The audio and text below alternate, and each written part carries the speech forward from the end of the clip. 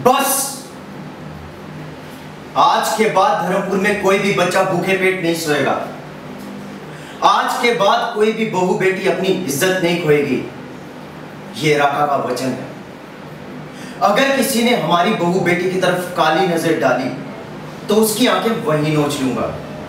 और अगर किसी का हाथ हमारा हक छीनने की कोशिश करेगा, उसका हाथ वहीं काट दूँगा।